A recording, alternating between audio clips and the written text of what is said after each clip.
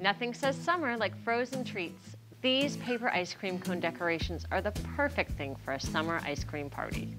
For this craft, you will need one 10 and a half inch paper mache cone, a 6 inch styrofoam ball, a hole punch, fishing line, tape, tissue paper, a glue gun and hot glue sticks, a styrofoam block, a craft knife, a wood skewer, and scissors.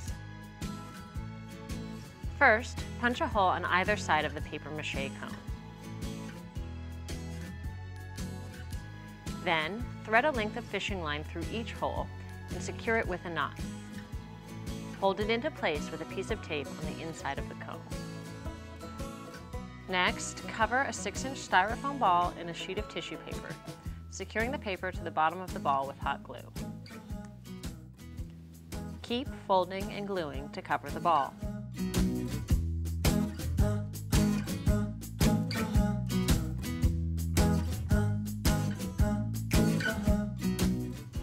Stack two pieces of tissue paper and then push them into the center of the cone. It's okay if it's messy. Hot glue the paper to the cone's interior. Then, cut a piece of styrofoam from the block to fit the opening of the cone.